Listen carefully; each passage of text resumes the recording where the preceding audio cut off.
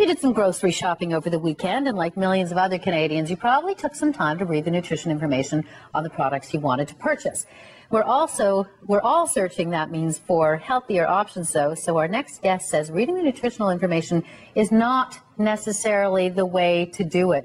Say it ain't so. I mean, we've been so ingrained and educated and aware. Read those labels. That's right. But you're saying ingredients we're saying, you know what, start with the ingredients because really, if there are any harmful ingredients, which we've called the scary seven, then it doesn't matter how many, how much fat and calories a product has. That's the first thing that we've been taught. I mean, if I take a look at the, the labels, I take a look at the calories first, yep. and then you go down to try to find right. the sodium in, the, in that list. That's right, but no longer. So I want to reframe everybody's mind because that's really not what we should be looking for. Okay, so and you're doing a lot of kind of what we could term junk food, fun food, whatever it is as well. Yeah, and it actually applies to all packaged food. So it really doesn't matter. So when you're grocery shopping, and it doesn't matter what you're looking at at the shelf, it'll apply to everything that you're going to be looking at to buy. Okay, so you brought some products in to walk us through some of the stuff I that have. we should be aware of in the grocery grocery store. That's right. So what we want to be aware of is something that we call the scary seven. Okay. So what those are, these are harmful ingredients that we know wreak havoc on our immune systems.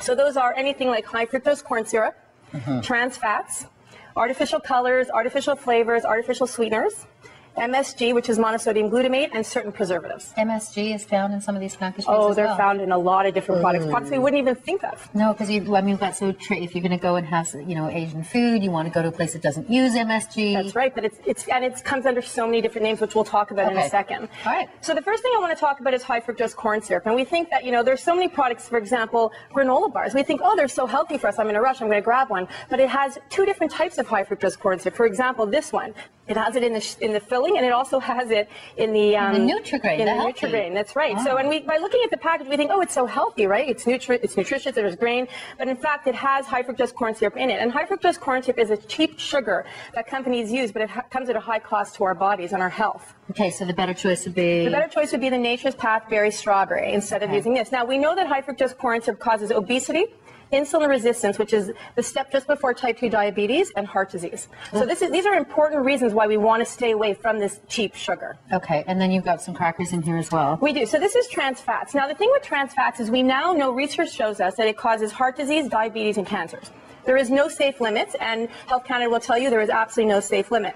And a lot of products are trying to get them out, right? They are. And you know what? If we look at the nutrition facts panel, you'll see that, for example, it'll state zero trans fats on the label. Yeah. But you know what? The point is, is that we're still eating it. But why? Because there's a loophole in Canada that if a, if a product has less than 0.2 grams of trans fat, trans fats per serving, they're allowed to rate zero on the nutrition facts panel. When it's not zero. When it's not zero. So this is another reason why we really need to read the ingredients first. So we're looking for items like partially hydrogenated, yep. shortening, yep. or hydrogenated. All three of those terms mean they have trans fats in the so product. they won't be in the nutritional facts, but they'll be in the ingredients. They'll be in the ingredients. Okay. So that is the reason why we always say start with the ingredients. So a better option to something like Ritz would be Late July. Okay. They have no no trans fats in their product. They're made with wholesome ingredients and they're organic, so they're really they're better for us. So the junk food area in here, people, it's easy to grab those. Easy to grab. This is what all has monosodium. Well, this has monosodium glutamate, and so we're looking at something like Cheetos. We're looking at something like the Lay's, and we're looking at something like the Ruffles Ranch okay. dressing. So, and it's easy to spot monosodium glutamate because it'll state it right on the package. Now, like we said before, MSG comes in different names. So, and in the book we talk a lot about the different types. So, autolyzed yeast extract is, okay. is another name for MSG. So you really want to be mindful of what it of what products can contain it. And the reason why we want to stay away from MSG is first of all it's a flavor enhancer. So it, we, it makes us eat more at the same time. so you know how often do you sit down with a bowl of you know chips and dip and then you stop at one? Yeah, we and it'll say five chips has this. Well, are you gonna just have the five? Well, you're not exactly. No. So and it makes you eat more. So you really want to be mindful because it can cause you know chest pains, heart palpitations, mm-hmm. excessive mm -hmm. sweating.